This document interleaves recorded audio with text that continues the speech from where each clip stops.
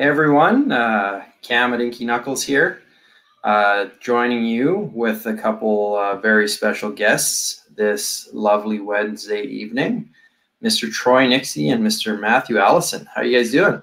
Very well. I guess I'm not really a special guest anymore. I'm kind of more of a co-host by these, you know, at this point. So it's Matt, Matt that is the the special guest again.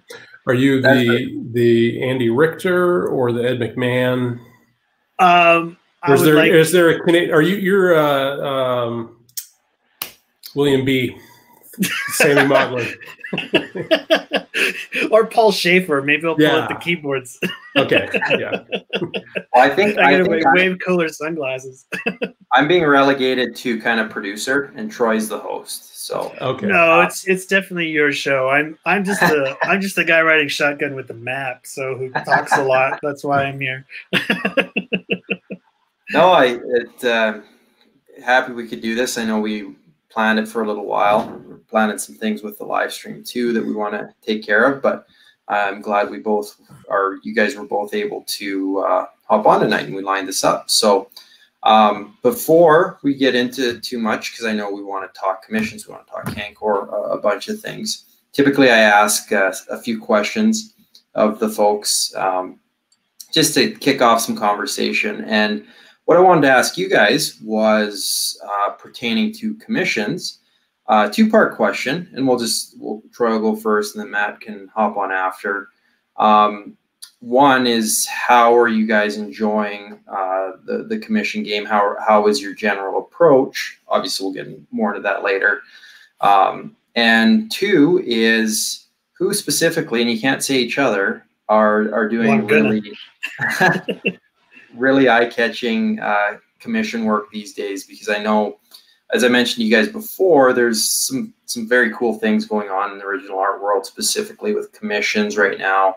Talked about it. Mike Mignola's doing some pieces. He did all those eBay pencil pieces. Walter Simonson took a list. I think um, Jim Mahfood, uh, Shawn Crystal, you know, guys like that are doing amazing work, and you two are both at the forefront of that. Um, this this kind of revolution in, in crazy commission work. So, um, yeah, two part question, Troy, uh, you're up.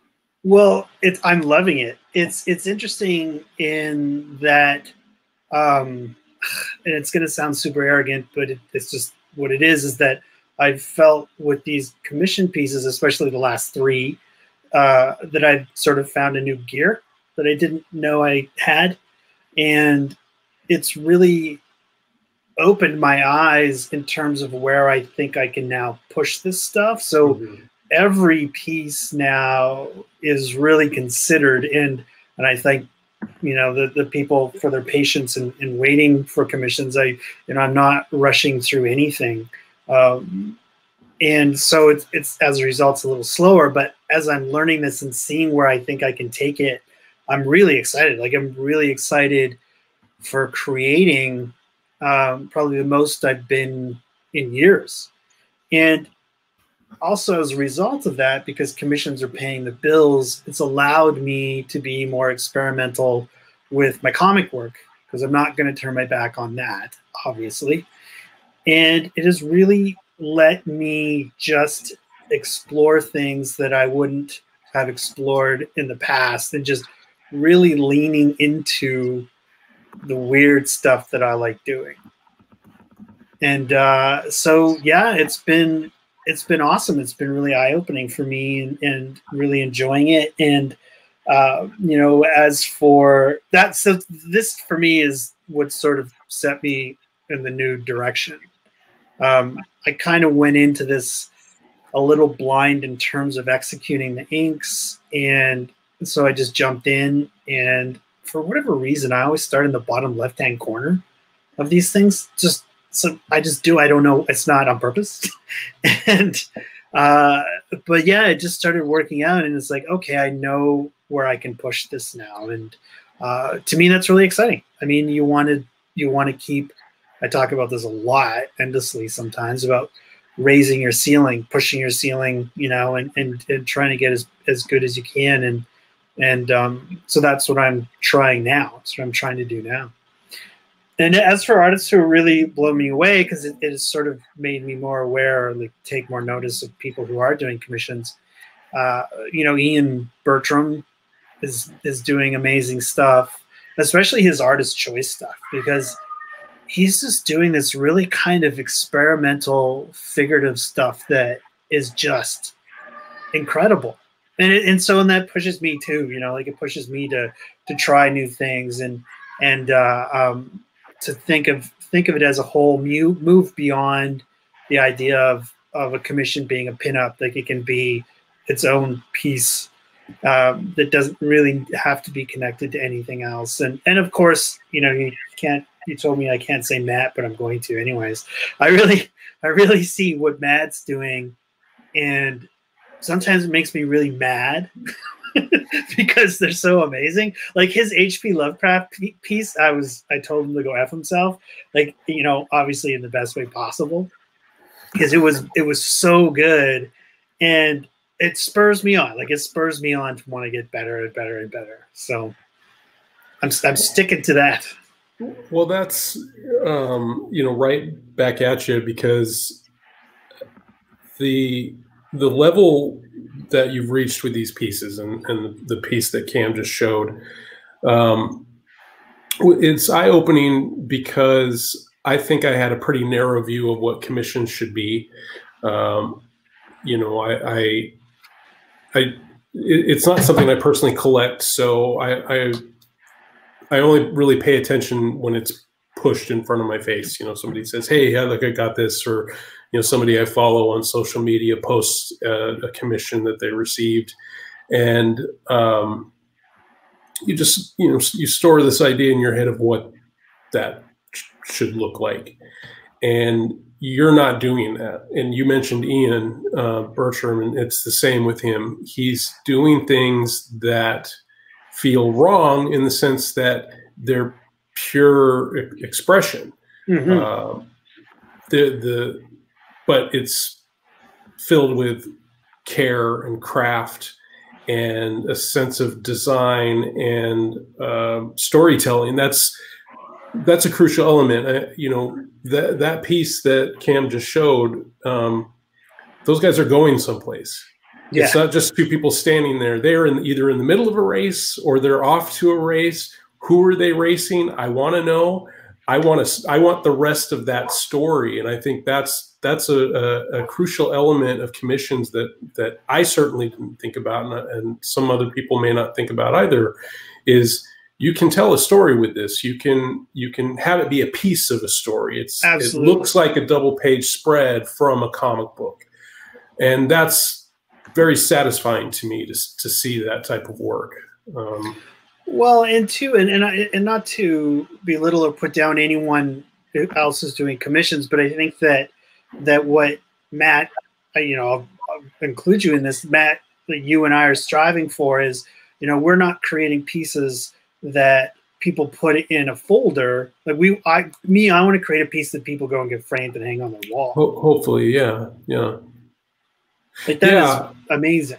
Well, thank you. I, you know, I I got online and I was looking for photo reference of H.P. Lovecraft of his face. I knew he had a very long face. Yeah. Uh, but I was seeing multiple drawings, multiple paintings where it was him with tentacles coming around his neck. And that was where, where my mind had gone initially. It was like, oh, there's got to be tentacles, which in a way there has to be. Yeah. Um, so the question was, well, how do you how do you do something new and interesting with that? And hopefully I did that. Um, I, I was fairly satisfied with the results on that one. Um, pretty, and also being, uh, you know, not very well versed in H.P. Lovecraft's writing, so I, I, had wished that I had had more of a, an immediate response of, "Ooh, I have to do this particular story," something yeah. from that. I, I don't really have that background. I've only read a few of his stories, so I really did have to rely on visual reference. Now, but do you think that if you had been really immersed in H.P. Lovecraft, that perhaps you would have felt a little beholden to some images that that immediately popped to your mind because surprisingly to some i'm actually not an hp lovecraft guy at all uh-huh. uh, so you tackling this the way that you did and it's succeeding at the level that it does, I think is as a result of you not being really special about H.P. Lovecraft, you know, not holding it dear. Well, uh, I think my hope would be that if I was well versed, if I had read more of his work, I could find uh, the the deep cuts, so to speak, find elements, uh, creatures, or scenarios that aren't the Cthulhu based. Um, you know stuff that, that you normally see. I know yeah. that, that that stuff is out there.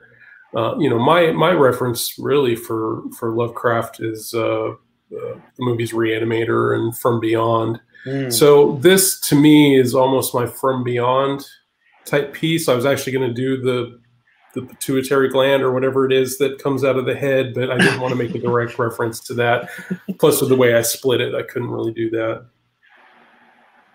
Now, the idea of splitting it uh, is that something that you that immediately came to mind for you, or was this after doing a bunch of sketches and and you know you deciding after looking at some H.P. Lovecraft images, it's like, oh, I don't want to do him just draped in tentacles because a lot of that already exists. How did it sort of take shape? Uh, the splitting was came from the desire to do panels within a commission uh, you know, what I would like to do one day is do basically a one-page story as a mm-hmm. commission. I think that would be pretty cool. So this was my first baby steps into that, basically creating a, a two-panel uh, page, essentially.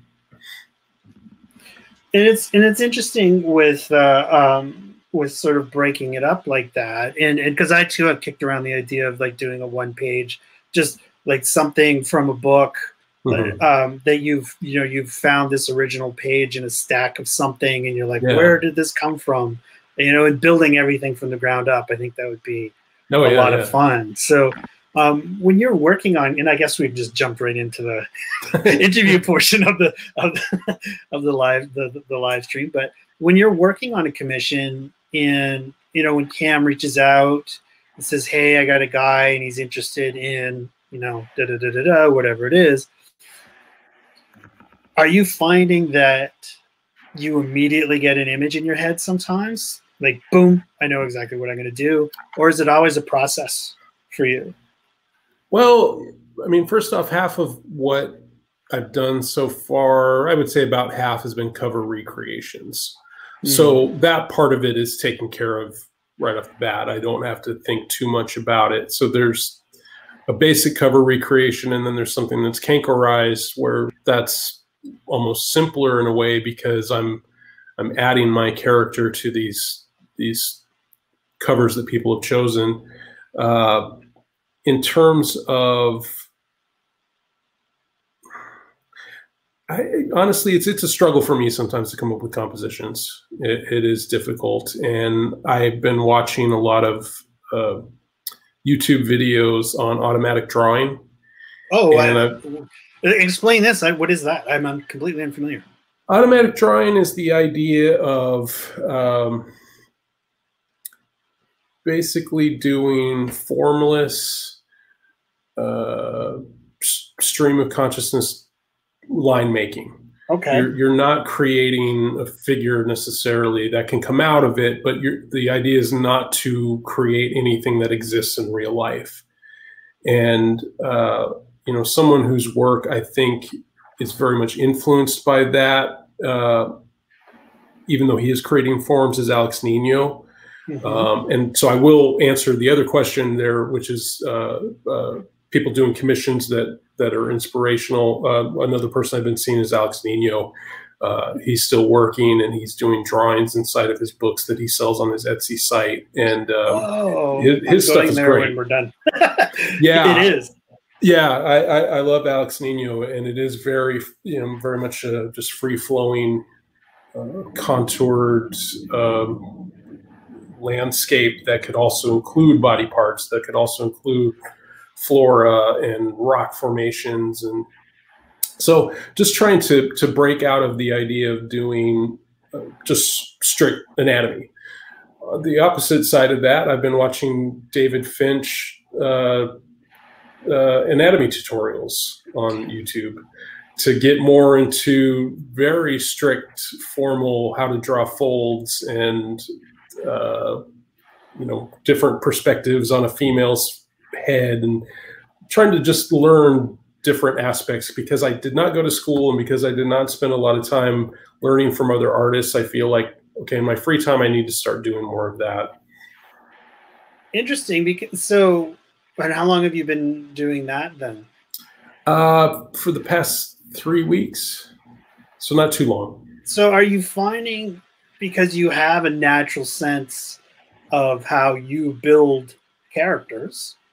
Uh, and I love the way that you build characters. There's form, there's weight, there's you know balance. Like it's all there in my mind looking at your work. Uh, do you find that that would potentially get in the way? Uh, you know, thinking about because David Finch draws very, you know, he draws super realistic. I mean, that's yeah. his whole approach. Yeah. Uh, do you find that that is an impediment, or are you finding that it's helping you find those shapes sort of more naturally? it's helping simply because I'm looking for shortcuts at this point, and and I, I I had such a negative attitude about the idea of uh, formal rules when it comes to drawing. You yeah, know, you get a Burne Hogarth book, and you'd sit there and like this is where the elbow goes, and this is how this goes, and it, it's all true. I mean, you can't deny that that's how the human body works but uh, I, it, something in me rejected that. I didn't want to just copy Loomis or copy what Burne Hogarth was doing, uh, and I, I I feel like I missed out on some valuable tools there. Uh, so I'm just trying to you know give myself as much ammunition as I can when I sit down at the drawing board yeah. and say, okay, this is not going to be a struggle for me if I you know, do a bird's eye view of this person at a three quarter view. Whereas that would be very daunting to me two, three years ago. And it's just about learning that lesson. Oh, I, I saw this person do this, so I know it can be done. Uh, that that's really more what I'm looking for is, is some tricks. Are you are you working with perspective grids when you're?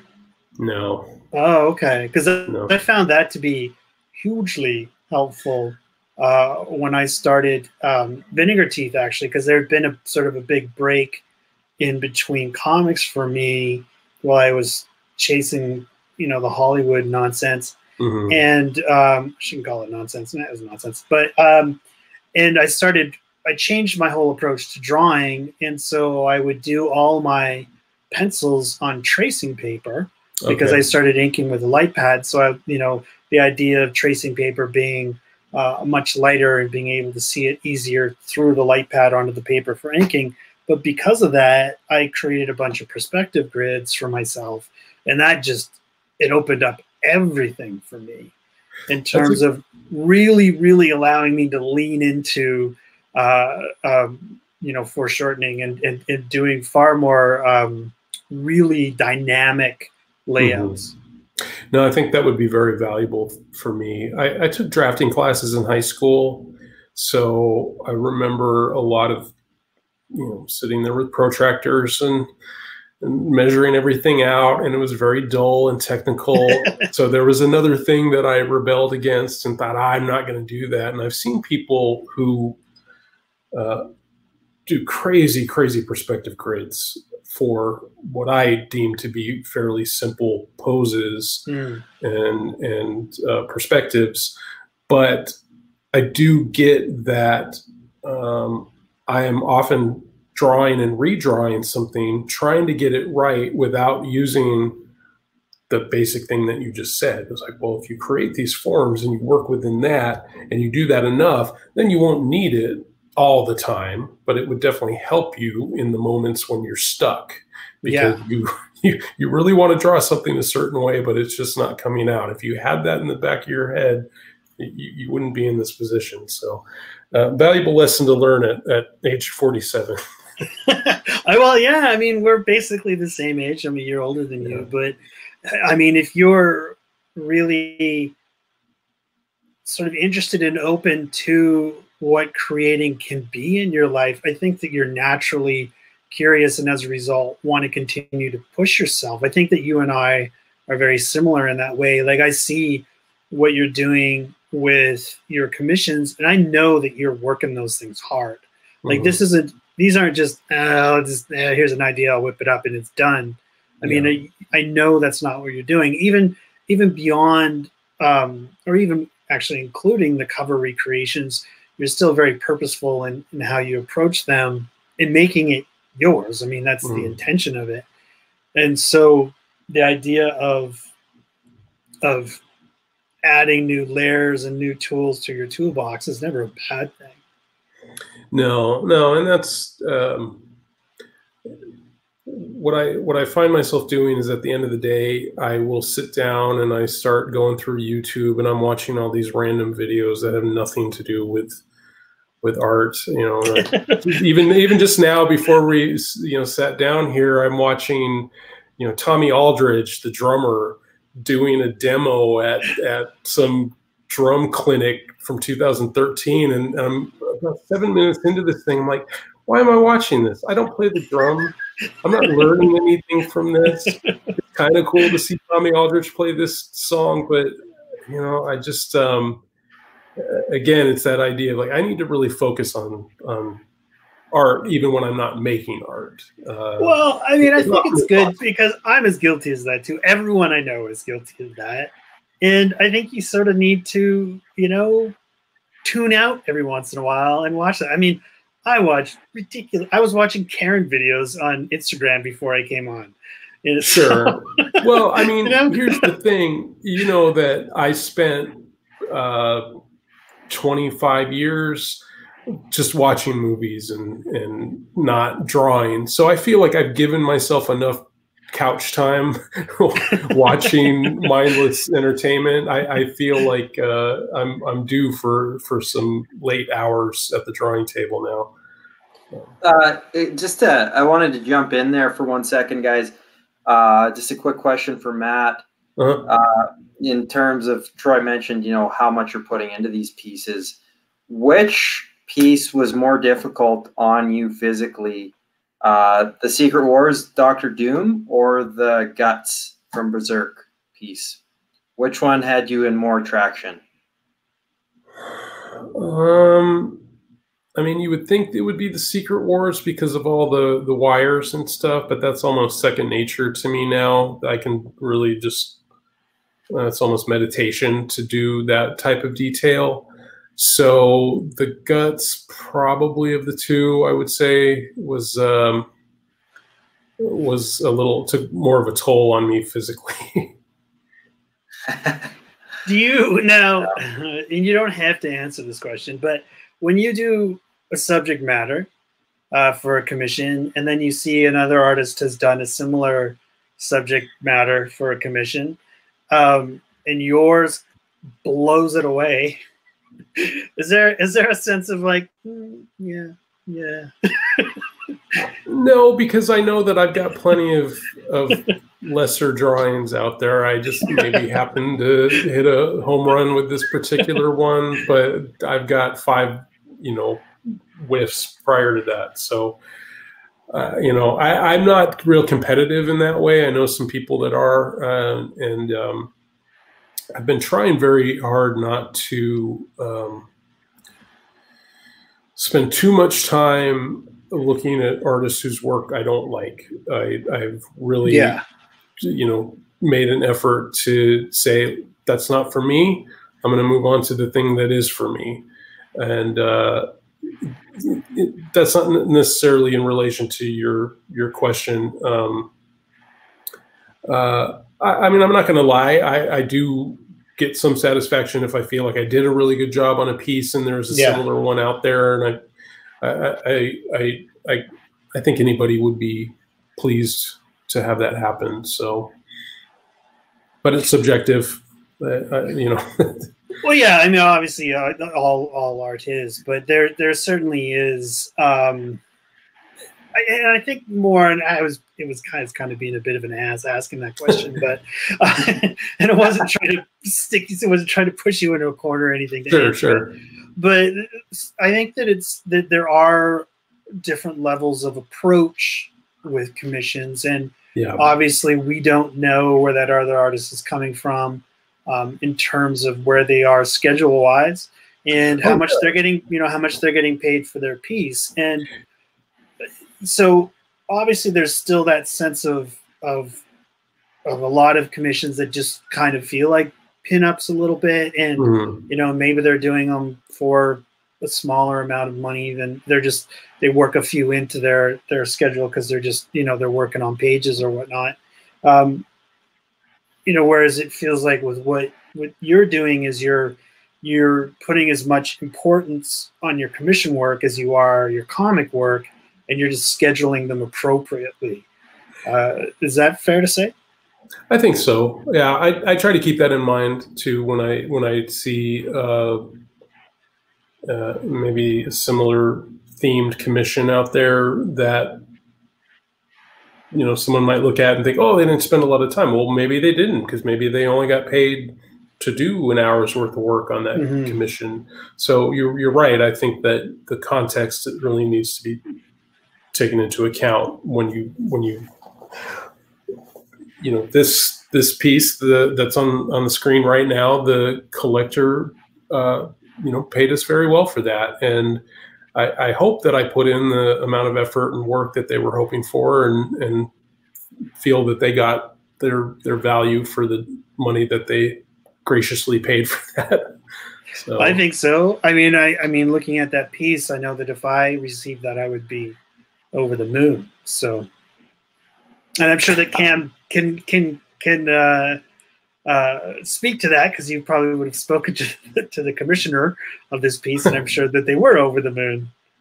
Oh uh, yeah, absolutely. I think uh, I think he'd already seen it before I shared it with him because I think we we shared on social media and yeah, and, uh, my scan here on this piece isn't very good. I don't know what image I'm pulling from right now, but yeah, the even just like the monster's head, and I know Matt said earlier that he he struggles with composition, but this felt um, very good on that level. So.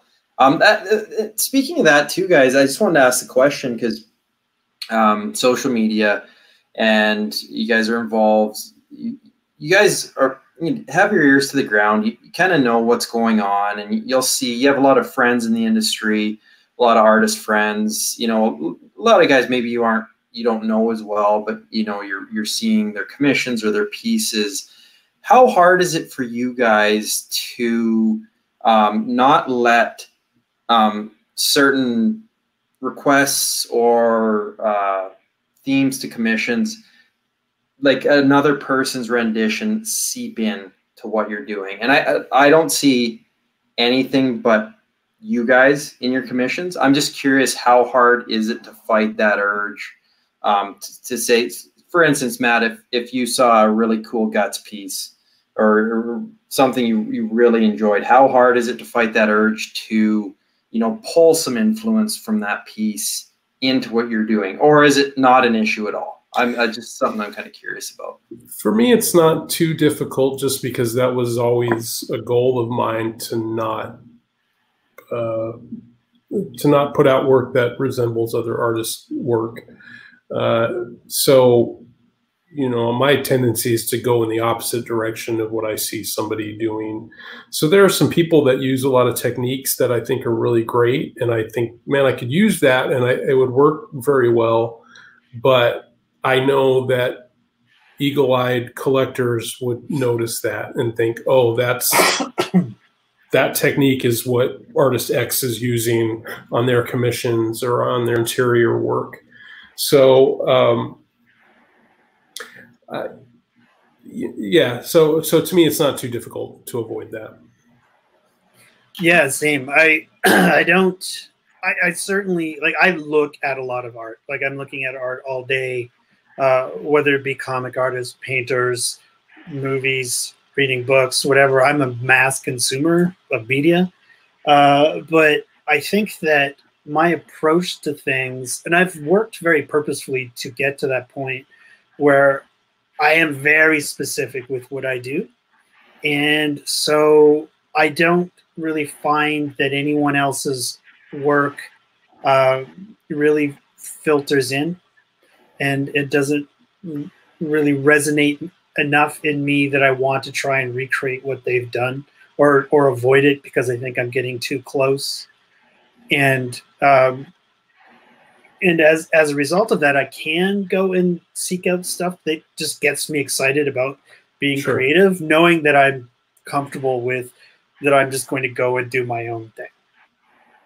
Yeah, that well, that's that's yeah. Sorry, guys, it interrupted you there, Matt. It was it was good to know because I yeah, obviously you guys are very incredibly unique at, at, what you do. I was just just curious with that mindset, you know, because um, I know talking to Gerardo Zaffino about writing, his biggest thing is he struggles to not write in cliches. Mm-hmm. And I know Troy, Troy, bugs him to write all the time. All the time. but uh, that's just something he, he often says. So I was just curious about the artist mindset. And I just wanted to point out, too, you guys, you know, screen tones are a big thing going on right now. And, and lots of artists use them. And lots of guys in our group use them as well. Not to shit on uh, screen tones by any means. But it, it's interesting you mentioned that, Matt, because this looks, the sword that Guts is using – looks like you use screen tones on it, just like the planet on the watcher piece as well. You could have very well just used screen tones in both cases, and you chose not to, which was uh, very. That is actually a screen tone on the the guts piece. Oh, is it? it? Looks yeah, it looks like it's hand drawn. Uh, it was a um, I think the brand name is called Deleter. Yep. It's, oh, cool. it's a, a, Japanese tone. It's the only commission that I've used it on. Uh, oh, and and I felt like because it's manga, that is a standard tool that's used. So I felt that it was appropriate to use it in this piece. Uh, otherwise, I, I would have just done stippling on that. Well, that's that's interesting. I'll I'll pull up the I, and the only reason I bring that up is because the Watcher piece, the texture on the planet, mm-hmm. um, was very much similar uh, from a distance. If uh, I actually can hold the original right now, but I'll bring that up in a second. No, I was, I was just kind of curious. I and that, you had me fooled with the guts piece because I had the original in hand and I did not realize that that was yeah. a screen. So yeah. yeah, it's interesting. It, it's it's sort of it's become popular again. Back when I started doing comics, it was uh, a lot of people were using it. I I used it on some Bill the Clown stuff. I used it here and there, and, and it's super fussy to use. And yeah. little pieces, it just gets everywhere. It gets under your fingernails, and and uh, so I just I gave it up and just started doing everything with a brush. And now I don't even know where I'd put it in my pieces. It would sure there's not room. yeah, yeah I, I, mean, I, I I just try to create the tone with the pen. Yeah, no, I'm I, I I'm the same way in in terms of the difficulty of using it, sitting there with the exacto blade and cutting it out. I I got into it because I had read an interview with Dan Clowes talking about Zipatone way back in the 90s, and he used it to such great effect that I went and bought some. And actually, I had two or three sheets left and I gave them to Michel Fiffe because I know he collects that stuff and you know still uses it. But what I did before I gave it away was I scanned it. So I have a file with that Zipatone in it, and so when I do black and white work, I can just grab that file and select the black and then drop that tone in. Uh, it doesn't work when you resize it; you have to to bitmap it yeah size it bitmap it and then because otherwise it gets too fuzzy but uh, I, I, I, do use it but in a technically a digital form well and i think that like that's what ed is using with the Duoshade on his new project is that he did a bunch of full sheets mm-hmm. and scanned them yeah I, I, I, could be wrong but I, I think this is what he said and that he is dropping those those tones in digitally because he does he doesn't have the Duoshade board yep.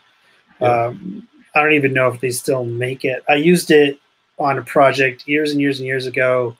And it's quite horrible stuff to use. It smells bad, and the papers, yeah. you know, it's not great. So, Yeah, I mean, you know, adding that sort of digital element to the comic stuff, you know, experimenting with the comic stuff is kind of fun, and then you know, going back to the more traditional approach for commissions is a kind of a nice balance. Mm-hmm. And yeah, this, the the other piece in question where this felt like um, this planet specifically, um, this is hand drawn. I thought you could have used a screen tone there, but and then when I first saw it, I thought it was, but um, it's not. So, yeah, that one was a tough one. I I, uh, I, I based on the request for that one, I put in more detail than I probably should have.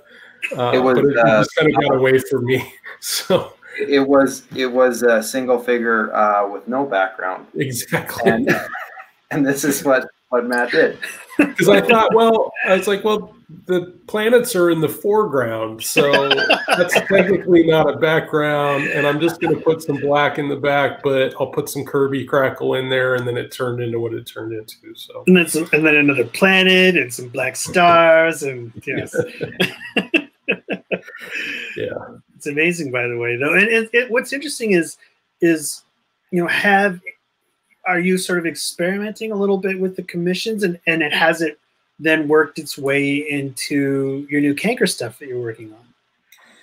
It's it's making me uh, really want to simplify things with Cankor, partly to take a break from doing this highly detailed work, and partly to get the new Cankor stuff done quicker.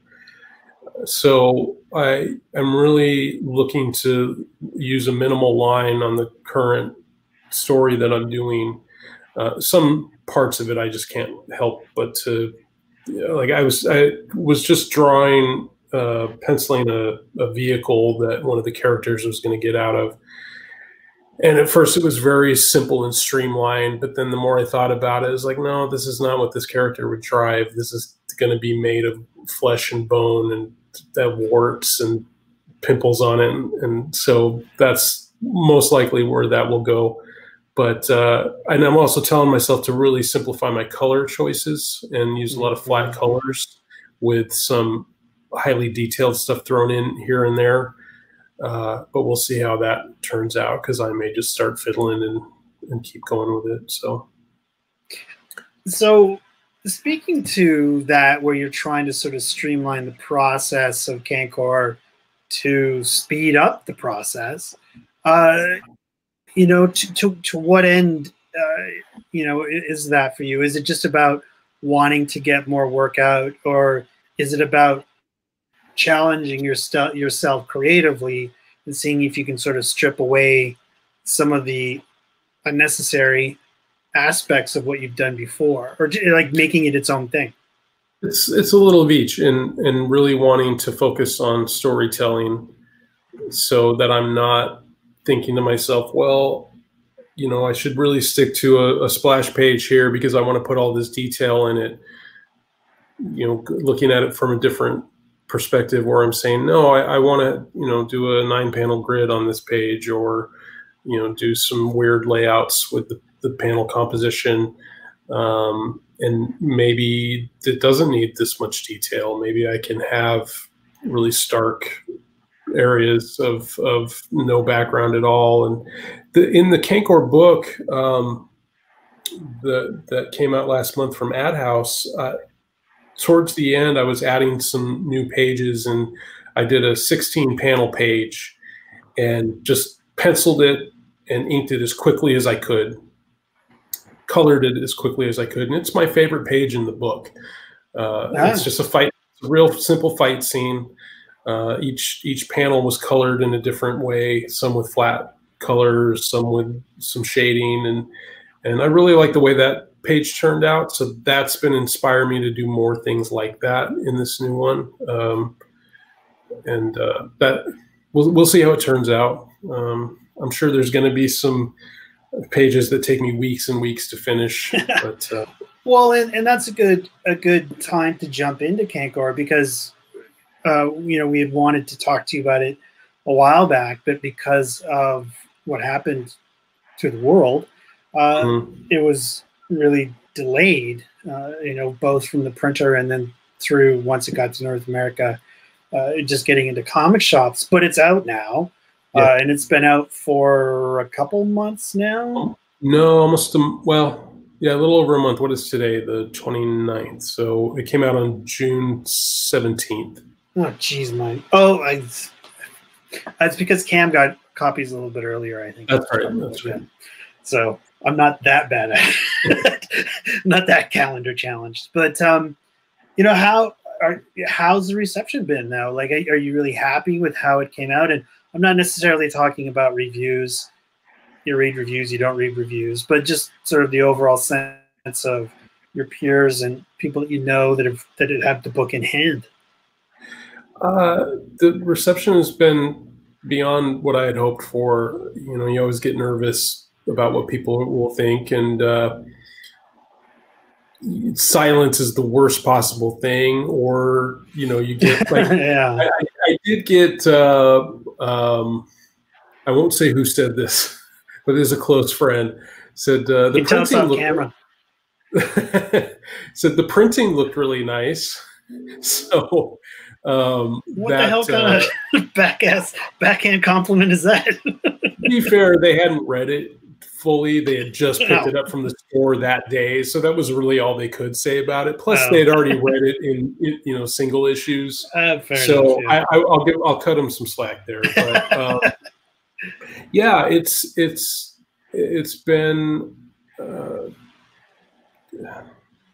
very humbling and and it, you know it, it makes me feel like I'm on a good path uh, because the uh, the reception that I've been getting has been very positive so far, and the book is sold according to Chris uh, Pitzer at Ad House. The book is selling very well. Well, so, as it should, and I mean it's a beautiful book. I mean, I think my only wish for the book had was that it had been larger. Um, I, that's been one, yeah. That is one thing I've heard from other people as well. Yep, yep. And it, and it's just it just speaks to the depth and the quality of of your work that you just want to immerse yourself in it more than than what the smaller package um, can offer. But it's still a brilliant book. Like I I love it. I was going Thank through you. it again today, and and just sort of trying to come up with some things that I wanted to talk to you about. And it reminded me of the interview that you and Chris had and the interviewers who I, I believe you're you're good friends with one of the interviewers. I, uh, I can't remember his name. Oh, was that really? Yeah, it was. Yeah, it was that yeah, long. Vince, yeah, yeah, Vince. And so you know, he talked about genre and and you know where do you place a book like this and I think that I can only speak about the North American mentality about genre, about uh, people always want wanting wanting to categorize something. You know, is it this? Is it this? You know, is it horror? Is it autobiography? Is it superhero? And when in fact, it's all of them and sort of none of them. And and it it's it was it was was it Jay that said it feels like a very personal book, and it does. And was your intention to, because it does subvert genre mm-hmm. in the sense that you can't just label it, oh, you should read this great horror book or you should read this, because um, it's, it, you can't just pin it to one. Was your intention to really push genre or did, or is it just what you wanted to do and it just, that's how it came out? I, I, think that it helped me create the book just not to limit myself in terms of what it was. Uh, adding the autobi- autobiographical elements allowed me to um, put some stuff in there that had been stuck in the back of my mind for years and years and years. Like I, I need to get these stories out. And there was a lot of a lot of stories that I, I, took out of the book that were much more personal and much more insightful into my mental state and emotional problems and um, you know there's there's elements that I deliberately left out of the book because I felt like it would take it too far in one direction. Anytime I thought that I was going too deep into a certain genre, I would pump the brakes and go in a different direction just so that it wouldn't be just one thing And uh, so, in that sense, you know, that was a very deliberate thing, but there wasn't a master plan as far as you know, pages one through three are going to be this, and pages seven through eight are going to, you know, th- that that part of it wasn't uh, uh, mapped out, uh, so to speak. Well, and, and, and, that probably has a lot to do with you self-publishing the book and sure. sort of really not feeling beholden to a publisher's um, you know because let's be real most publishers do sort of have a what's the best way to put it? Um, you know they got a vibe you know like each publisher yeah. has its own thing. And putting out your own book like you said anything goes. It could be whatever you wanted it to be. Well and there's safety in in that identification. So if a publisher is known for doing a certain type of work mm-hmm. you stick with that because it's scary to to put out something that's a little bit different and that's the beauty of what AdHouse does is they they cover so many different genres yeah. that a book like that I I think you know Chris was um, totally on board with with having it be in his library. So I you know I um I do say you know the the the book takes place in a comic book that's the setting. It's it takes place in a comic book. And if I was to pick a genre, a true genre for the book, because I think right now in the back it says um, like sci-fi, horror, superhero, I would yes. just say as genre comic book. Uh, you know, because I I just I put everything that I like about comic books into that book. Well, and and it obviously because you're uh, an artist who's influenced by a lot of different things, including music. Mm-hmm. Uh, I know you're a big music guy, uh, and I always I think we talked about this last time that you can really tell the artists who are really heavily influenced by music. You can you can feel it in their work, sure. and so why not? And I think that there's a frustration, at least I have, with with North American comics and, and people that consume comics where there's an expectation of what comics should be. And when you push back against that expectation, um, some people love it.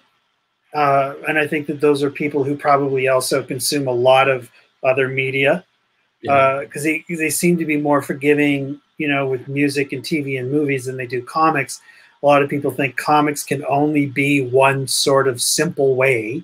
Mm-hmm. And when you push against that, you know, the the intelligent comic readers lap it up. Sure. And so knowing that going in and, and creating a book like Cankor where you can just do whatever you're feeling, like if it's if it's sort of a um, an emotional, you know, visual metaphor or whatever you're doing, like your auto autobiographical biography elements are then building towards then when you go into these stories of these faceless characters, you know, in space and doing the things that they do. Um, like what what what is that like when you first started working that out? Like did it did it did it feel right immediately or was it was like eh, do i need to pull that in again, or, or were you not really paying attention to what was going on? I think you know I had the safety, uh, as you say, of self-publishing, so I didn't have to worry too much about the Wednesday crowd picking it up off the shelf, flipping through it, and deciding whether or not they were going to get that or the new Justice League book. You know that mm. that didn't play into it. I, I didn't have a competition with everything else that was on the shelf because in my mind i'm printing it i'm sending it directly to people who are emailing me or contacting me through my website to, to buy the book so it, it was much more of a mainline thing to a very specific audience yeah so that is uh, a great position to be in because you can do the things that are going to please yourself as a creator and as a reader. You want to make the book that you yourself want to read. And if you say, I'm not going to worry about selling 10,000 copies because I know it's not going to, but if I have 500 readers that are all digging what this is. I, I, I feel good about whatever choice that I make uh, mm-hmm. for the mm-hmm. most part. There are still things that are scary, and in fact, this image that's on screen right now, I was I really had to question whether or not I was going to put that in the book uh, because it's a problematic image uh, for me. it's it's a uh, it, it comes from uh, a place of um, frustration and uh, judgment and being um, a young kid who uh, had very strong opinions about art, even though I wasn't really making art at the time. Uh, when Rob Liefeld swiped or paid homage to Ronin in Swipe. X Force number one, uh, it it let's call I, it what it is. Yeah, I mean, I was furious. It it made me so angry, and so when I when I came up with with doing this page, uh, I thought, well, you know, especially putting the afterlife Liefeld. Um, yeah, well, and, and that's the joke for anyone that doesn't. I mean, sure, everyone here knows it. I mean, I don't need to go over it. Everyone knows it. Uh, I mean, when I saw that, I fucking died laughing. It's hilarious. well, and I asked Jim Rugg because you know Jim Rugg is somebody who's very meta, very uh, tuned into comics history, and he I, I knew would get the implications of that. And I said, I you know, I asked him a favor. I said, "Can you look at this and tell me if you think it's a good idea or not?" And he, he's like, "You know, it's a good idea. Just do it. like, why are you even asking? Just put it in there." um, well, and, yeah. and, and why can't we? Right? I mean, why? And this is what frustrates me, and not what you're saying. What you're saying is is is spot on that there is this expectation that and finally we're getting rid of that expectation of what comics should be. Yeah. But we're we're creative uh, people just as as much as anybody in any other uh, um, medium. And so why can't we include these these strong emotional things that we're feeling in our work right? It's it's you know why should we tiptoe and go oh we don't want to upset that person or whatever. It's like screw it you know like i felt very strongly about this when i saw it. There there wasn't a nod to the original image at least i don't think there was. I can't remember. I blanked his whole career out of my head. Um, and so why can't you call him on it you know? It's it's well i mean it was honestly it wasn't so much calling him on it as, as it was me letting go of it because this character that's standing behind Cankor in that section of the book is trying to get him to join his team. He he sees him out breaking rocks and he's like, You'd be perfect on my team. And Cankor refuses and ends up killing mm-hmm. the guy. And and that to me is my artistic life in a nutshell because I had multiple opportunities to collaborate with people on things. I had friends in, in high school and in college who were putting together zines and wanting to do uh, superhero books or anything that I thought was beneath me or distasteful. And I was like, I don't want to be part of that. Um, and I, I, I shot myself in the foot for not taking part in those things and, and joining up with other artists and and maybe swiping here and there just to learn. Um, you know i and so now i'm at a point where i can't blame rob liefeld for doing that. I think that he um, you you will probably disagree with me on this troy but I, I do truly believe that he has a real passion for comics. Maybe not good comics but he has a passion that is very strong and was definitely stronger than my passion for comics at the time because I was not making comics and he was. That's that's really where this page was coming from was just this sense of like, look, if you had eased up a little bit back then, you probably wouldn't have uh, had so many years of bitterness and and frustration. I think that's pretty common though, the the bitterness. I think that uh, as where and i was you know speaking to a lot of other creators and especially for myself because i had that as well as we're trying to find our feet and it's not a good thing or a bad thing. It's just a, de- a developmental thing. Mm-hmm. I think mm-hmm. that there's a phase in us when we're starting to lean towards where we're going to go. We just don't know it yet. Sure. And we resent everyone that is more successful than us. And some people who draw better, some who don't, but especially the people who we feel don't or don't draw better than what we're going to be. And it's just us really struggling to find our voice. Mm-hmm. Even though we're headed in that direction, we just don't know it yet. And so you get that chip on your shoulder, and maybe it's six, seven, eight years in, or wherever, whenever it happens, because you're kind of muddling along at that point. You're just creating crap, crap, crap, crap, and then as you start to get better and start to figure it out, you then that's where the judging really starts to happen. Sure, yeah. a lot of creatives where it's like, well, I understand this. Why didn't that artist understand that? Look at their work. Why are they so famous? Their work is terrible you know, and on and on and on. And really, it's just us moving towards what we need to where we need to go. You're at a point in your career now where, and I'm not going to use the word comfortable because that's a terrible thing to say to a creative person, but you know what you're about for the most part. At least you you know how to create an idea at a very high level Mm-hmm. You know, whether it be in an Im- in one image in a commission or you know on pages with with Cankor, and so that starts to drop away when you start sure. to really start to understand how you can present your ideas in story form and find success with that where you're not struggling just to get a page done and you're like oh i, I guess it's okay oh shit i gotta do another one now yeah. you know where you can think of it as a whole then that other stuff just starts to fall away. I mean, yeah, you can still look at some people. I, I don't get the the sort of love that Rob still gets. I don't understand it. There's artists who I'm friends with who love them, and I I just don't get it. I don't understand it.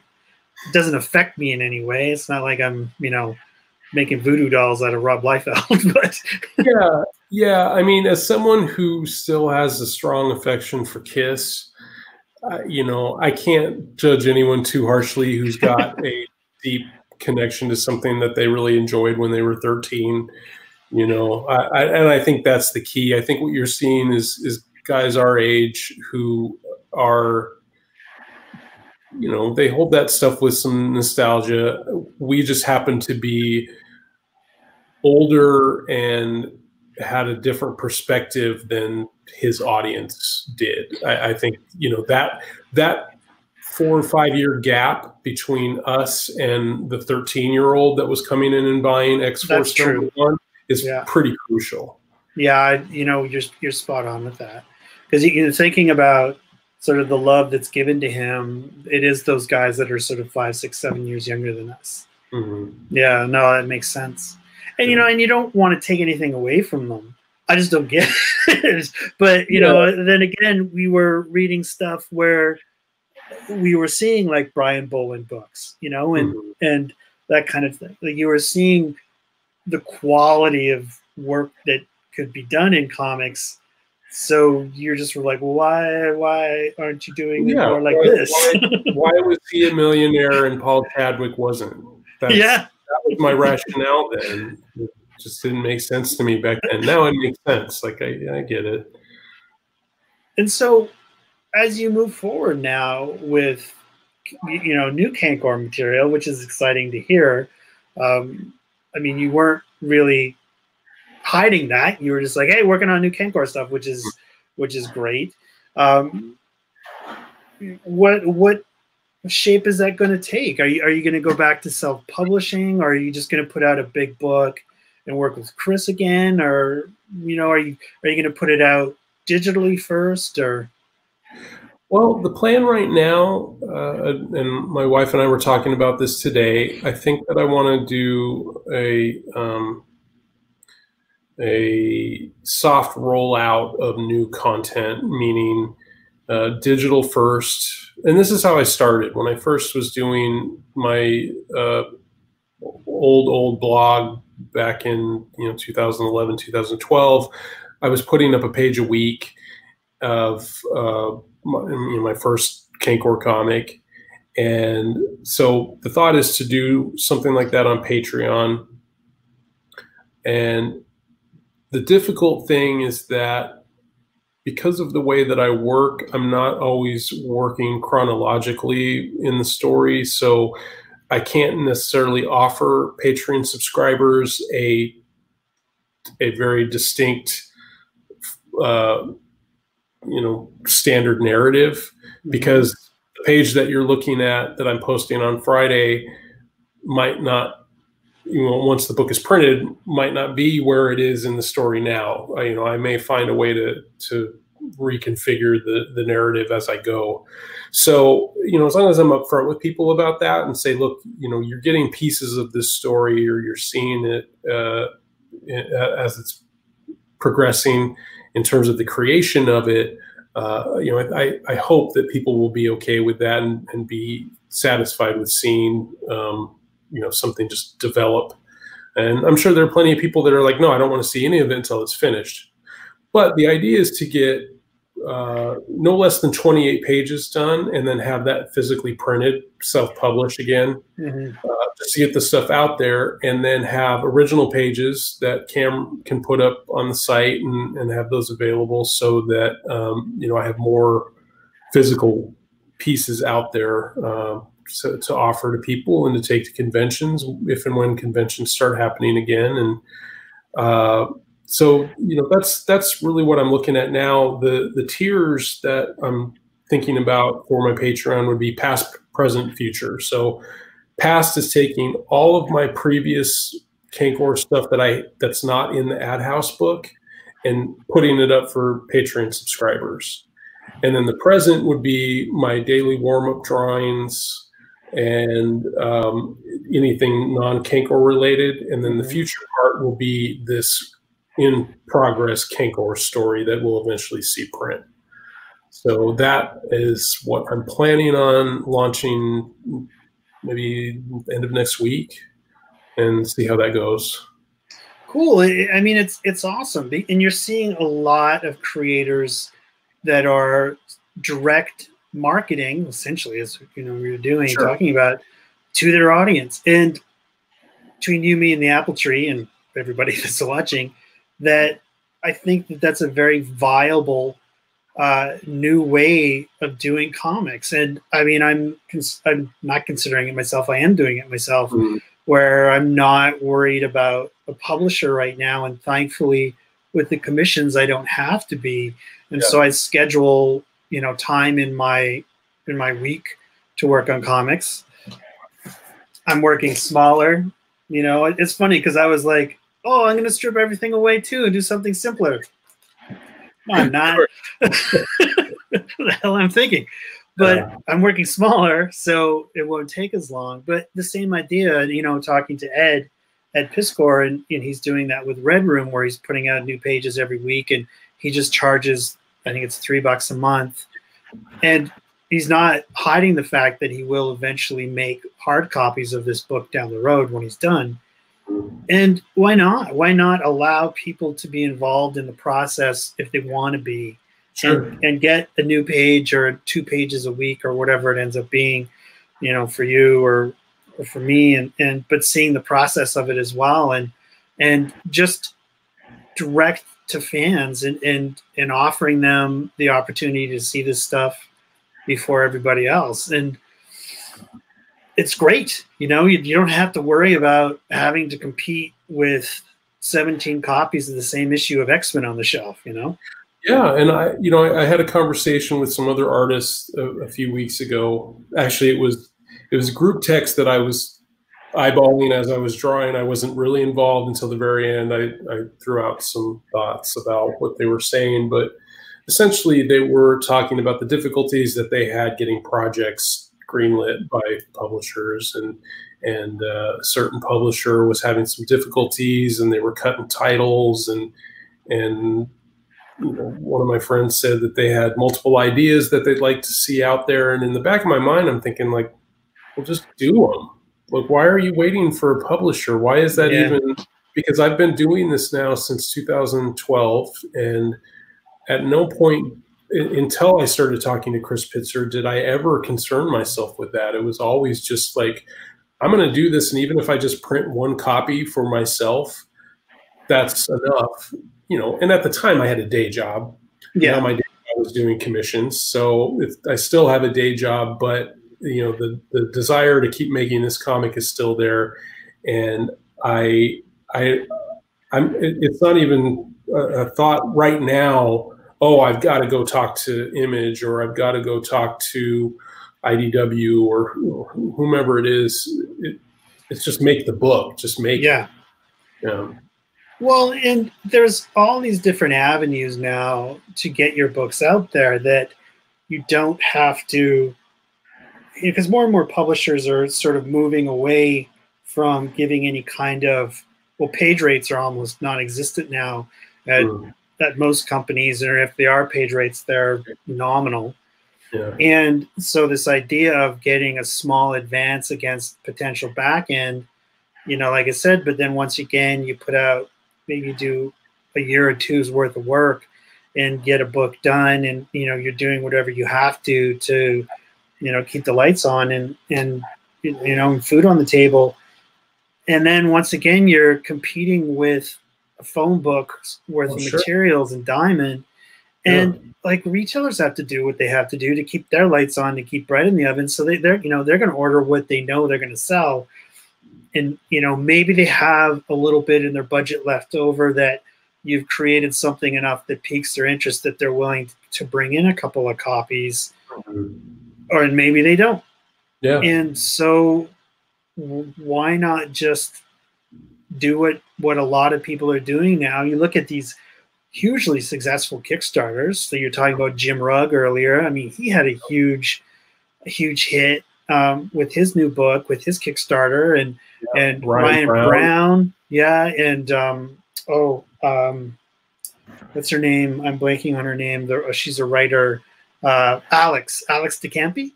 Okay. Um, I think that's how you pronounce her name. Uh, she did a Kickstarter, and they did really well too. And this idea of direct marketing to fans, if you come through, if you build a model that works, and if you say, if you come along with me on this journey, I can promise you something at the end. Yeah. And yeah. if you're reliable, they'll they'll and they like your work, then they're gonna come, they're gonna enjoy that. They're gonna come along with you. Absolutely. And and I've had people reach out to me knowing that the book was in stores, knowing that Amazon has it, knowing that you could order it directly from AdHouse. And people have said, I want to get it from you. Mm-hmm. You know, uh, a variety of things. You know, one that they're getting it directly from the artist, but also, you know, that it's it's more beneficial for me. And in some ways it is, in other ways it's not, because you know, I after years of self-publishing, um, the fulfillment side of it is no longer um, well. It never really was enjoyable for me. Uh, it's especially not enjoyable for me just because I I, uh, I I have spent so much time doing it, and because I worked in printing and I worked uh, doing mailing fulfillment. Um, I always wanted to keep my art separate from all that. So that is the one downside of it for me to do a Kickstarter, like looking at Ryan Brown's and I see, oh, wow, he had 1,600 people back him. In my mind, I'm thinking that 1,600 pieces of mail that you have to process.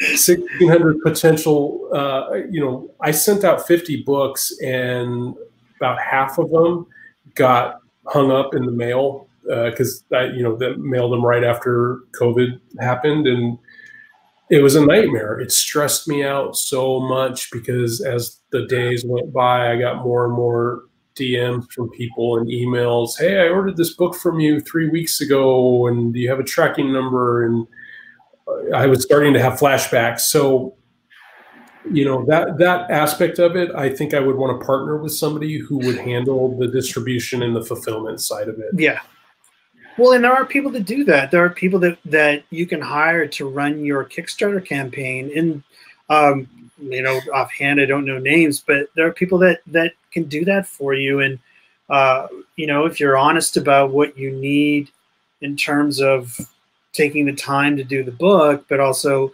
um, I, I just love Kickstarter campaigns that are like, look, we're just going to do the book, we're going to print it. You can order a copy or not order a copy. I think you know I wouldn't really worry about all those. If we hit to this, then you get buttons. If you hit this, you know, uh, that stuff just seems exhausting to me. Um, oh yeah, it's, it's like here's a cool book, get a copy, you know, and you yeah. sort of have thresholds of of uh, um, how much they're going to cost per volume, you know, by volume. So yeah, Ryan and Charles were they had a, a goal where um, Charles was going to write and record an album of songs based on curse words, and then they were going to have it pressed on vinyl. And I'm like, they must have, they they have to like really love doing that. yeah, yeah. That just seems like a nightmare to me. But if that's you know, I I more power to them. I I you know. I certainly want more Cankor product out there, and I've been yeah. very lax in getting. You know, I, I've been talking. I had talked to a toy manufacturer last year, and I haven't followed up on that as I should have. But um, uh, you know, there, there's definitely um, um, more that I could be doing in, in terms of getting Cankor product. But uh, right now, the, the book I think is the most important thing to be doing. It, it is, you know, and, and I'm sure, like me, because we we are so exacting in in what we're what we do that it takes time and mm-hmm. we only got so much of that. And so finding that balance between commission and comics, like right now, I'm only giving comics one day a week. I want to, yeah. uh, you know, get commissions, and, and I feel, I feel pretty great that people have given me the money they've given me, you know, for a piece of artwork that doesn't even exist. You know, sure. that they're that they have that expectation of seeing what I've done and knowing what I put into them. But that's still, you know, there's a lot of faith they're putting in there, and I, I really appreciate that and respect that. And so comics is getting one day a week now, and and um, I mean, I kind of keep really handcuffing myself a bit with the work that I'm doing on them as I keep pushing them more and more. But I'm loving it, so I don't want to regress from that. I don't want to pull back yeah. from that. I want to see where I can go with it, you know, and yeah. and so yeah, it's uh, it's it's been fun in that regard, and and clearly looking at your commissions, you're seeing that you're having a lot of fun as well. And so, does that loosen things up with you with Cankor? Because I mean, obviously, you have money coming in from commissions. You're calling it your day job now, and and so has that informed Cankor in a way that you really can just cut loose because perhaps the financial end of it just is not a concern at all, or maybe it was just never a concern to begin with. I think the combination of uh, you know knowing that I've got um, some semi-reliable income uh, outside of making the book. I mean, the book was never a major source of income anyway. The art uh, always was. The original pages were, and uh, you know, I was fortunate working at a, a print shop. My overhead on printing my books for years was incredibly small. So my profit margin on the actual books was was very high. So I made a decent amount, but my volumes weren't super high. Um, so the the freedom I think is really coming from uh, the fact that the world is upside down right now, and things that made zero sense four months ago make total sense now and vice versa. There are things that I thought about the world that have been completely upended. And in terms of how that affects my art, uh, I, I, I, feel uh, much freer in terms of the kind of content that I want to make. I, I yeah. feel like there are no rules, there are no boundaries to what I'm making. It doesn't matter.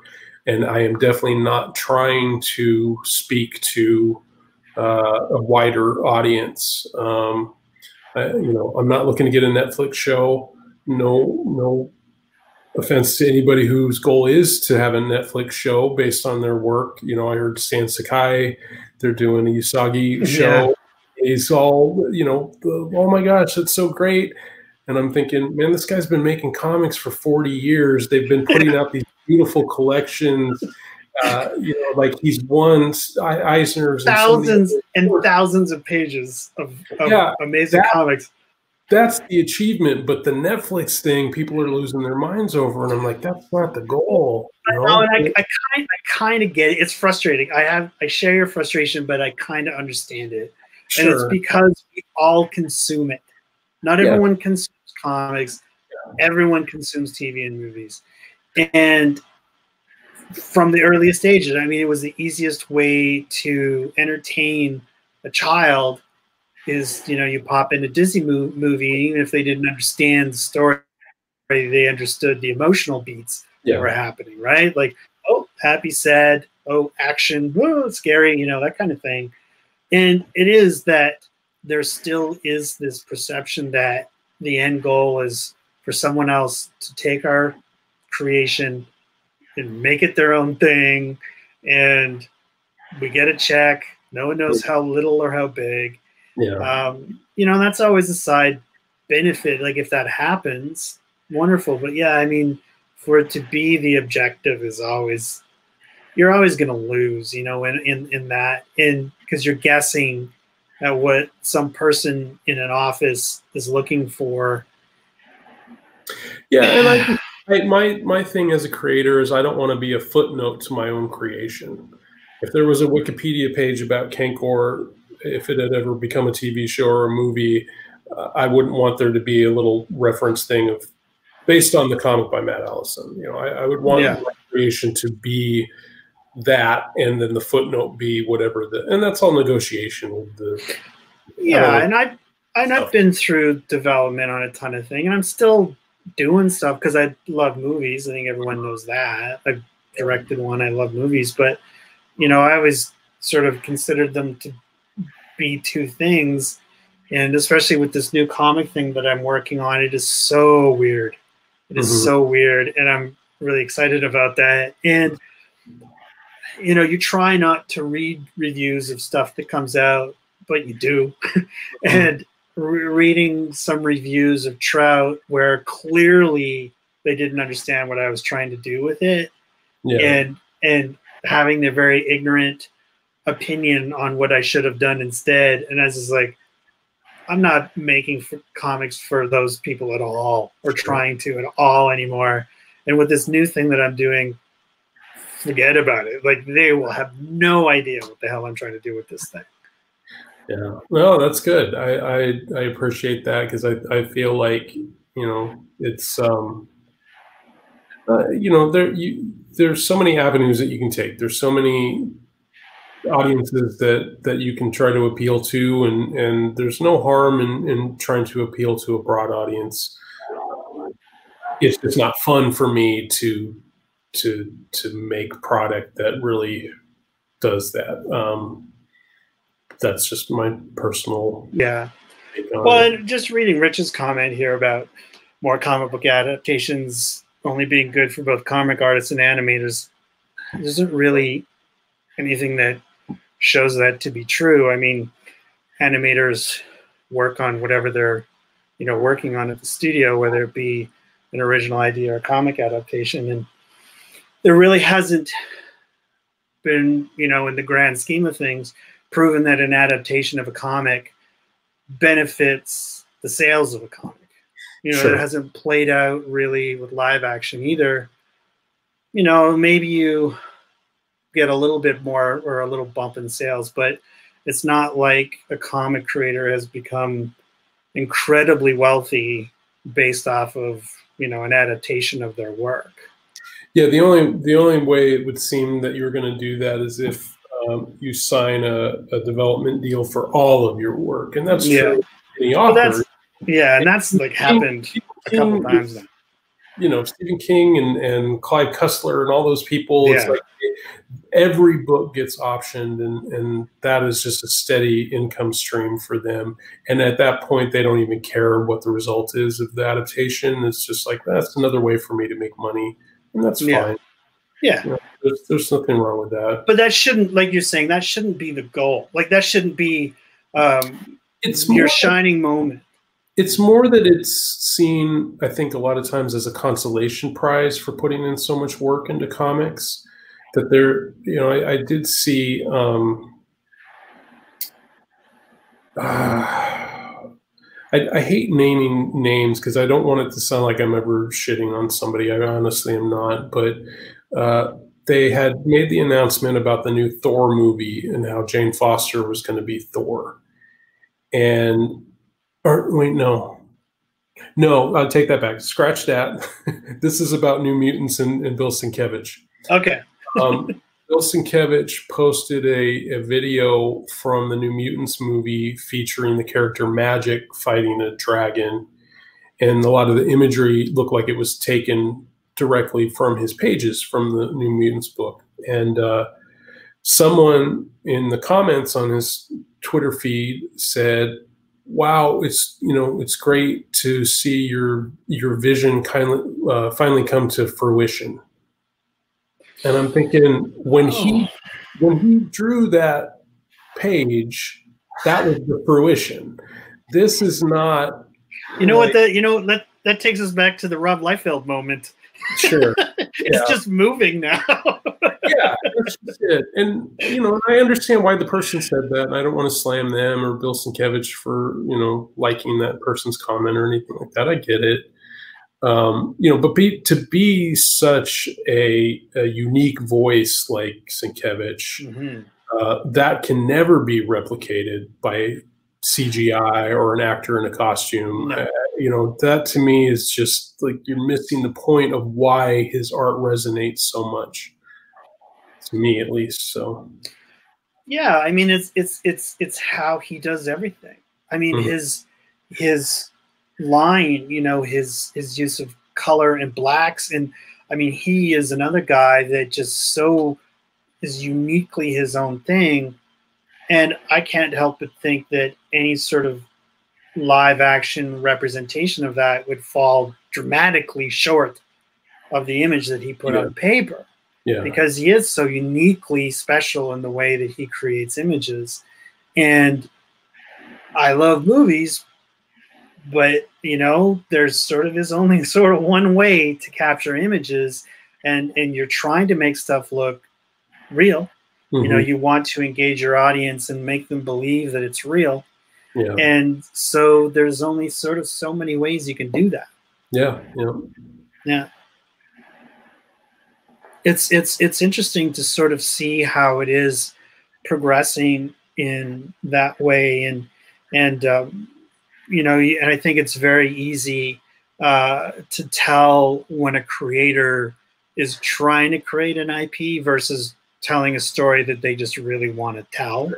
Yeah. Yeah. Well, and I, I you know, I I spoke with two animators a few years ago, and we may have talked about this last time we we did this uh, live stream where uh, one guy was working for Disney. Another guy was trying to put together some ideas for uh, Ridley Scott for um, some YouTube uh, CGI animation stuff. And both of these uh, gentlemen thought that Cankor might be a good fit. Um, so they were looking at some of my older stuff, and I had a bunch of characters that I had originally uh, had as, as part of Cankor's team. And I don't have any real personal co- connection to those characters. So I was really pushing, like, could we not focus on Cankor and maybe do something with these other characters? Because I would gladly give those over to somebody else. Like, if you want to take yeah. my Obrax, he's a guy with axes for hands. I don't, you know, that was just a thing I drew. and personally, I love Obrax. I love it. I love stat sheet. Uh-huh. Powers, aliases, marital status is divorced. Yeah. Yes. Everything about Cobra I love. well, how does he hug his wife? he does have interchangeable hands. He can put on uh, hands to do a story where you see those. And um, Cobrex may return to the pages of Cankor. Yeah, he could. He could return. So before we kind of, because we, we, like to sort of stick to an hour and a half for these, and mm-hmm. um, so before to wrap up, a um, couple more things. Do you do you sort of have a, an overall direction with the new Cankor stuff? Like you have sort of a couple of places you want to take them, and not necessarily do you have the ending figured out, but like do you have sort of a path in mind, or or is it just coming to you as it comes to you? You know, I, I, I certainly don't have an ending in mind, but I do have a, a general idea of uh, how things are going to launch with this current story, and uh, it's I'm really leaning into my um, uh, my love of, of, Jim Woodring here and looking at his Manhog and Frank stories as inspiration, in particular Manhog, because um, I just I'm very personally connected to that character. So I I if if if I am going to basically swipe an idea from somebody, it's going to be from Jim Woodring and from that yeah. character. Uh, I did post this on Instagram. I, I, was reading some Frank stories as well as Jack Kirby's OMAC. So if you want an elevator pitch, there it is. It's Frank meets OMAC.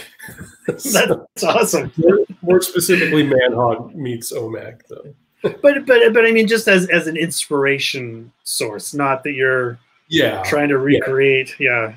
there's no specific story or, or, any specific element in there um, other than the build of friends. I've had this idea for Cankor being in this suitcase like box uh, for a while, so I want to work that into the story. Um, but other than that, yeah, it's it's just the general spirit of those comics I want to put forth in this new story.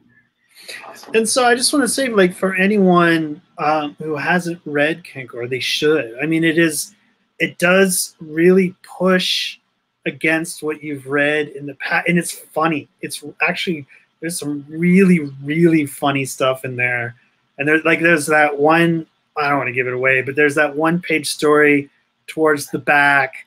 He puts on the human, the human face, the human mask, and it, it's just like it has everything that you want in a comic, and it. I think it perfectly is. It's a perfect example of what you can do in the comics medium, and because there it, it is very special and unique, and you really, really lean into that, and you really push the medium of comics to where it can go, and I'm always a a fan of that. So, and you stole that try. And before we say, go, oh, oh, did I? well, I, was gonna say, yeah, the the human tears, human mask gag alone is is worth the price of admission.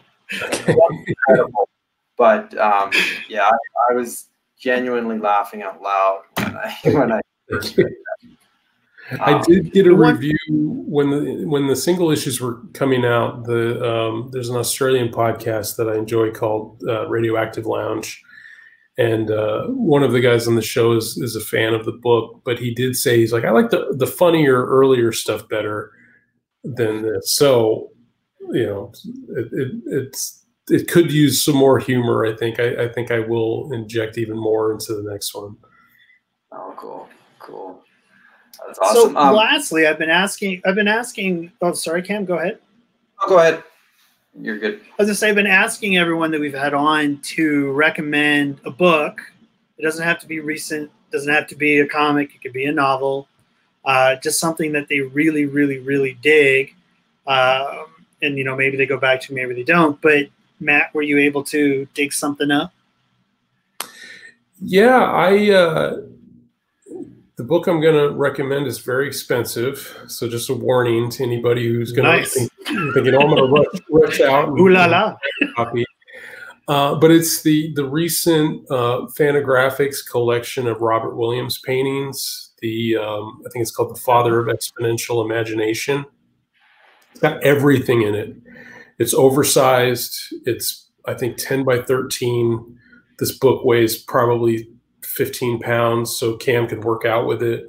Um, but I I had lost touch with Robert Williams for a long time. I was big into his work in the 90s, as most people were, and uh, this book uh, just sucked me in. Uh, I got it um, for my birthday, and uh, It's beautiful. It's just a, a beautifully composed book. Um, the reproductions are fantastic. The way it's laid out, all of his writings about the particular period in his life and, and that particular period that he was making a, a certain type of painting.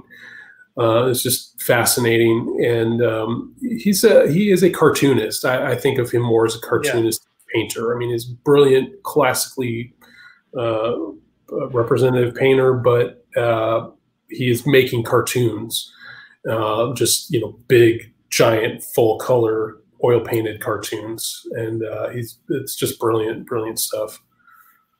That's awesome. very cool. And I mean, Fantagraphics puts out beautiful books, so yeah. Is, so, but it is available. It's just a little on the pricey side. Yeah, right now I think Fantagraphics might. They were just having this like a twenty five percent off sale or twenty percent sale on the book. I think the cover price is one fifty. Okay. Uh, I got it off Amazon just because my mother in law had given me an Amazon gift card, and so I think on Amazon it's like 125 right now. Okay. Uh, US US on that. So, um, but it, I mean the the size of the book and with what it contains, 150 dollars. Like if it was a Taschen book, Taschen would have charged 500 bucks. Oh yeah, of course. And, but it would be it would be, be even bigger. Yeah. yeah. Well, awesome, Cam. Do you have anything to finish up? Uh, yeah, just um, one thing to add. Um, well, and there's a couple questions asked earlier. Dylan had asked about the sketched editions of Cankor, Matt, and um, when those might be coming out again, if they're coming out again, um, meaning the the hit the colored head sketches. If you're going to do those again, um, I need to come up with a better method of making those sketches because the Copic markers, I think we talked about last time, they dried out pretty quickly. So I was only able to get maybe 20 of those small sketches done before all my markers dried out. Oh, and those markers are very expensive. So I just haven't got the the uh, refill uh, ink. Watercolor? Have you tried watercolor? That's my plan. I feel like I'm better off just you know buying a nice watercolor set and doing that instead. So uh, there's potential for that, and some of my um, you know I, would like to do daily warm up uh, uh, experiments with the watercolors. So they may not be part of the book, but it may be something that eventually I'll work with you Cam on making those available to collectors. Uh, just you know the the drawings themselves. and possibly getting more books from, uh, excuse me, from Chris at AdHouse. We could do something like that. Sorry, I'm starting to lose my voice. Oh no, that's that's good. Yeah, no, I think those were great. Um, and speaking of which, um, Matt's commission list is opening next week, so everyone stay tuned for that. Uh, I'll I'll leave it vague right now, but next week, uh, make sure on the mailing list we all know what kind of commission work Matt's been doing. It's been uh, absolute batshit crazy, awesome. So um, next week's your chance to get get on the list if you missed out on the last one. And this one's for you, Troy. Uh, have you ever been as mad at not getting a request as you did for this crazy cat piece that went to Matt? no, because it came back around, so it's all good. It did. it, I was I was mad this morning though when I when uh, the the Dagger Dagger announcement came out and I wasn't asked to be in it. yeah, I saw that. I, I raised I raised some friendly hell. yeah, I, I, saw that. Yeah. Uh, oh, but there was some there was some DMs too. no, it's all good because I know I know everyone involved. But yeah, I was like, next time funded within five hours. So so that's great. yeah, yeah. They needed to ask for more, if you ask me. But no, that's that's it for for us guys. We got some big stuff coming up this week, and we'll be doing uh, a more consistent. We, we haven't done a lot of live streams lately, but the Wednesday, and we'll get back to another day of the week. I don't know if we're going to do Saturday. Um, we have some other ideas. Uh, Troy and I will talk about that uh, later on, but we'll we'll be throwing yeah. a lot more uh, your guys' way. Um, yeah, the, and the plan is to the plan is to talk to Rossi next week if if everything lines up. So, oh, cool. Yeah, I uh, excited for that. And um, yeah, that's thanks for everyone who who joined in. Thanks to Troy and Matt as always. Not only are you guys amazing artists, you're uh, uh, great uh, great to chat with too. So um, thanks for coming on, guys. Well, thank you, Cam. Thanks, Thanks, everybody. Appreciate Thanks. it. Guys. Good night. Thank you, guys.